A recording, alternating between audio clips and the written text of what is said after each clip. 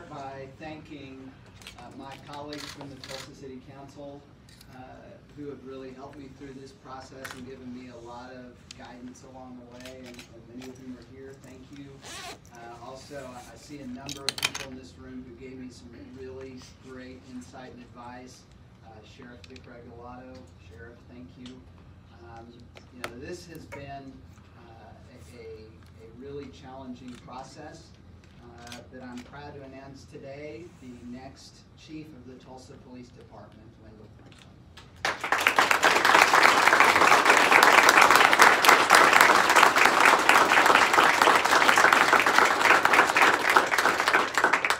Wendell Franklin is a product of this city. As a kid, he grew up in North Tulsa. He gained admission to the magnet program at Grimes Elementary School and then went on to Carver Middle School and graduated from Booker T. Washington High School. He attended Tulsa Community College and he earned his degree from Langston University right here in Tulsa. He also endured struggles at an early age in Tulsa, losing his mother to violence when he was only two years old, and later overcoming a speech impediment as a boy through his own hard work. 23 years ago this month, Chief Franklin joined the Tulsa Police Department because he loved the team concept that he saw in the department and because he wanted a job that presents new challenges every day. And throughout his time with the Tulsa Police Department, Chief Franklin continually sought out those new challenges in all parts of our city. He is unique in having commanded frontline officers in each of the department's three field divisions as a captain in the Mingo Valley Division and as the division commander over the Riverside Division and later the Gilcrease Division.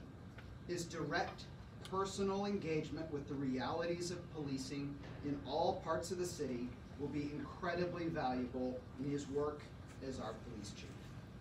Now, long before many of us started talking about community policing, Chief Franklin was doing it in his leadership roles around the city. Whether it was working with business owners and forming an alliance to combat thefts, or going door to door with neighborhood leaders to organize a neighborhood safety program, he took the initiative personally and carried it out effectively. One of the common themes that I heard from both citizens and officers over the last several weeks is the need for the Tulsa Police Department to maintain high standards.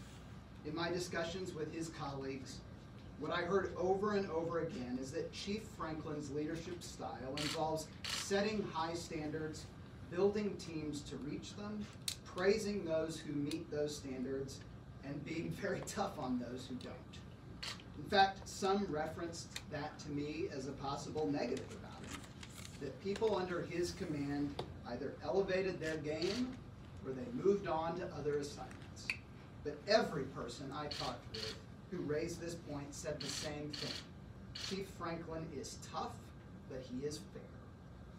I'm aware that despite his various leadership roles, Chief Franklin has not enjoyed a high public profile as high as others in this process might have. And what I found in my discussions with his colleagues and people in the community is that this was simply a result of his leadership style.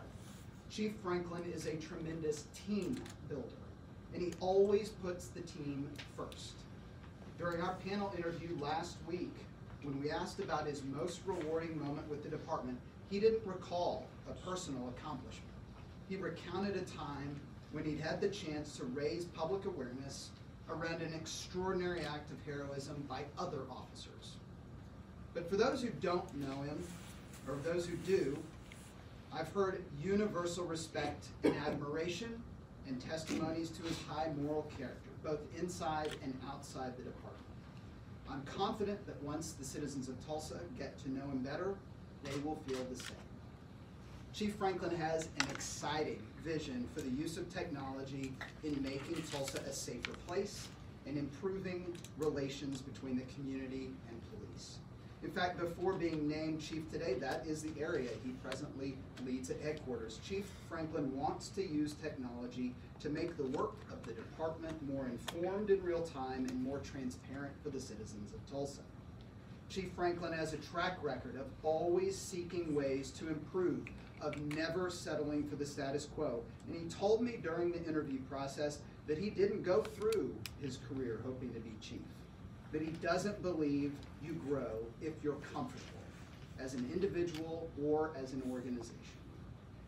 Out of several extraordinary public servants, I've decided that Wendell Franklin is the best person to lead the Tulsa Police Department moving forward because he has a clear vision for the future of the Tulsa Police Department, because he is an effective team builder with high standards, and because he knows personally the realities of community policing in all parts of our city.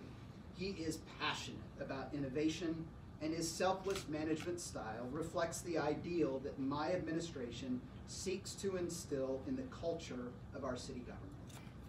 I think you make better decisions when you hear a diversity of viewpoints before making up your mind. And I want to thank all my fellow Tulsans from across the city who assisted in this deliberative process. We had over 600 attendees at our public meetings, and I'm grateful for the personal guidance of my colleagues on the City Council, former Tulsa mayors, local law enforcement leaders, and everyday citizens. I had direct discussions with over 160 people, and I've lost count of the number of people who reached out via letter and email and social media, and all of it was helpful in making this incredibly important decision. I also want to thank those who very bravely put their names forward for consideration in a process that was unprecedented locally in its transparency. Going through the interview process and getting to know each of them was a great reminder to me of the extraordinary talent that we have in the Tulsa Police Department. I want to thank the men and women of the Tulsa Police Department who work every day to keep our city safe. They are what make it a great department, and they are worthy of a great chief. Lastly, I can never thank Chief Jordan enough for half a century of his service to our city. Chief Jordan was exactly what this city needed at a low point in its history. His steady hand has guided us through moments of severe trial and more recently moments of unprecedented growth. He has set a high bar.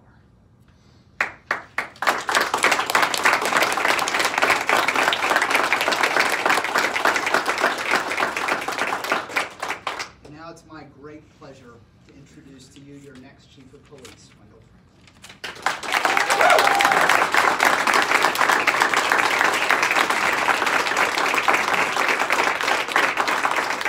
Thank you. I, I have not had time to prepare anything, uh, but I do like the, uh, I, I love the applause and I expect that every time.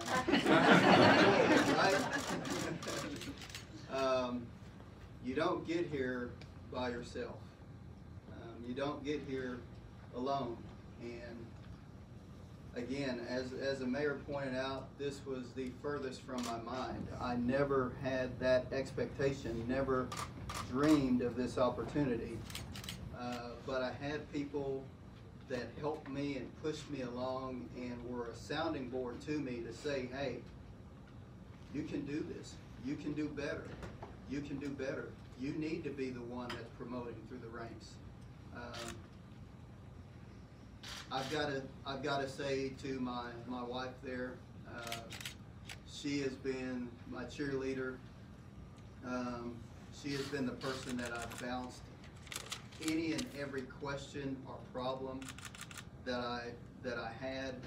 I went to her with it, and she helped walk me through that. Um, I want to thank my two, uh, my two boys, Corian and Brendan, and Corian's wife Lydia, for they were the ones that kept telling me, why can't you do this? You should be doing this. And as I sat there all the years as my kids played sports, football, and, and going through school and on to college, and I, I would use, the, I, I would, I would tell them, hey, you're, you're good. You can do this. You can, you can push through this. You can do whatever you want to do. And then to have them later flip the role on me, and now they're telling me, you can do this. You have an opportunity. So I thank them for that. Um, again, this is, this is all about us.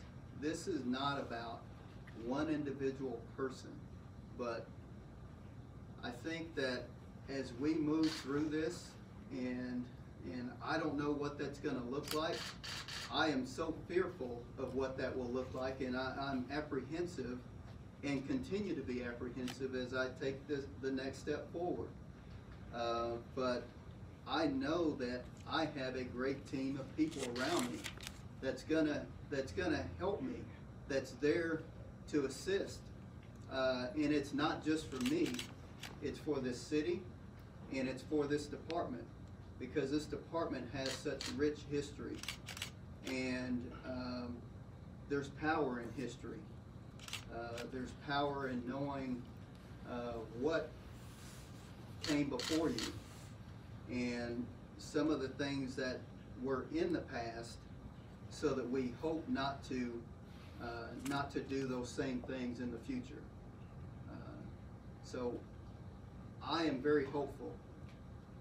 I cannot stand up here and, and, and not be fearful. Uh, Because, but I know that we've got such a tremendous group on our uh, TPD staff that's going to help and support me. All the way down to the line officers that I've worked with.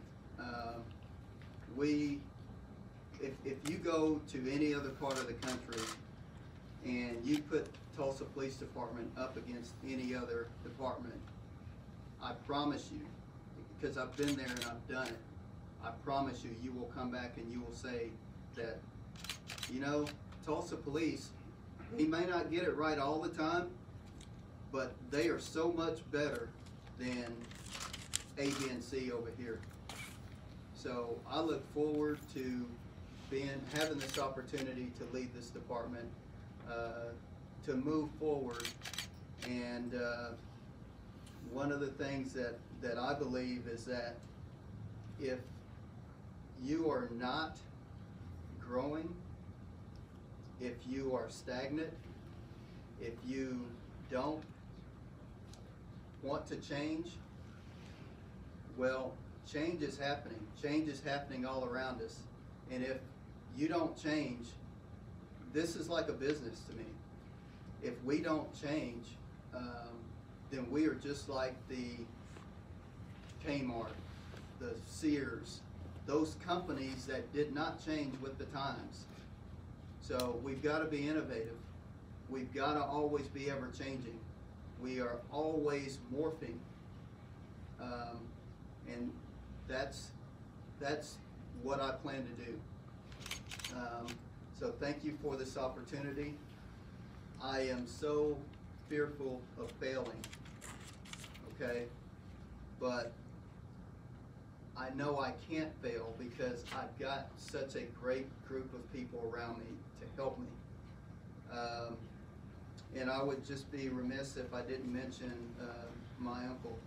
Uh, my uncle Ray Nelson was on this department uh, and retired as a captain, I believe, in 2010. And although our relationship didn't really come about until uh, just before I came on this department, um, he has been one that I've been able to bounce things off of and talk to because he lived it.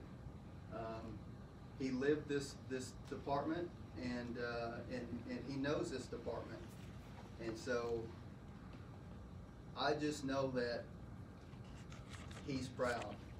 And, you know, my parents, as for, my parents are deceased, but I know that, that they are looking down on me right now. And, and, and they are elated. And I'm sure they're saying, we're making history. So, thank you, and Chief Jordan, I'll turn it over to you.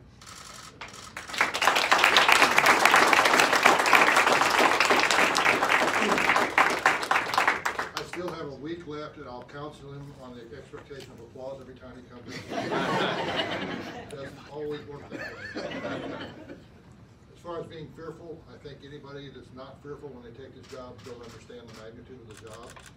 Um, But just like Wendell said, there's a team around him that will get him through anything, just like they got me through anything. Um, I've been here since nineteen sixty-nine.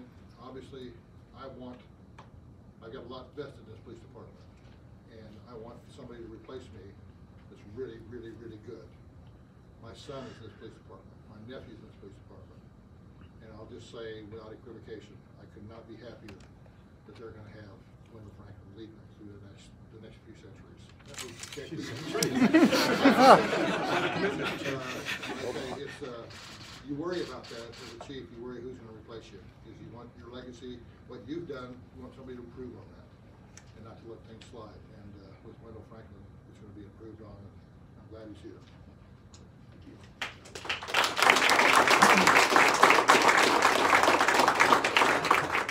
Uh, We will all be available for one-on-one interviews afterwards, and I know uh, uh, several folks here, I'm sure, that would love to visit with you. The district attorney, Steve see is here, another person who gave me a lot of good advice and guidance on this. Thank you, sir, for being here. Uh, But thank you all for coming out, and we'll all be happy to visit with you after this is over. Thanks.